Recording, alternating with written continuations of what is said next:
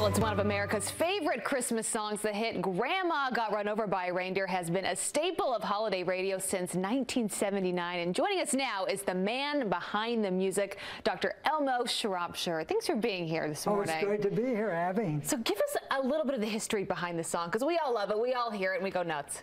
Well, it was written by a friend of mine named Randy Brooks, whose grandmother used to imbibe a lot during the Christmas holidays.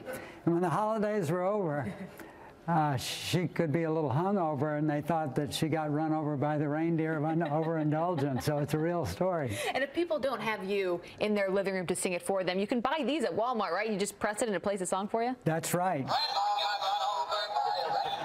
Sounds just like me. How did this get so popular? Because I'm, I, am i am guessing when you play it, people just start going nuts.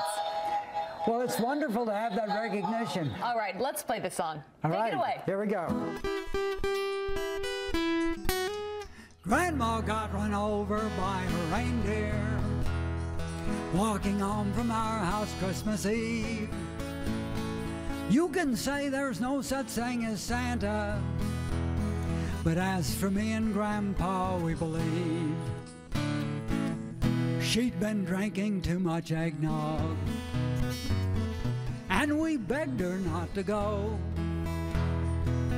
But she forgot her medication and she staggered out the door into the snow.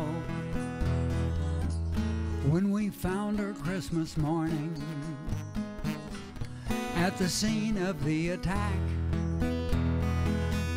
she had hoof prints on her forehead and incriminating claws marks on her back.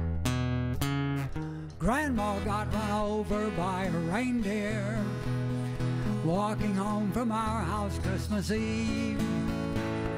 You can say there's no such thing as Santa, but as for me and Grandpa, we believe. Now we're all so proud of Grandpa. He's been taking this so well. See him in there watching football drinking beer and playing cards with Cousin Mel. It's not Christmas without Grandma. All the family's dressed in black. And we just can't help but wonder should we open up her gifts or send them back? Grandma got run over by a reindeer walking home from our house Christmas Eve. You can say there's no such thing as Santa, but as for me and Grandpa, we believe. Now the goose is on the table, and the pudding made of fig. Ah, and the blue and silver candles that would just have matched the hair in Grandma's wig. I've warned all my friends and neighbors. Better watch out for yourselves. They should never give a license to a man who drives a sleigh and plays with elves. Grandma got run over by a reindeer walking home from our house Christmas Eve.